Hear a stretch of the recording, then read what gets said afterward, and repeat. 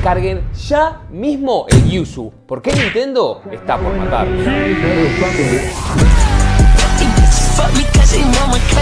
Nintendo de América ha presentado una demanda contra Tropic Haze, los creadores del conocido emulador de Nintendo Switch Yuzu.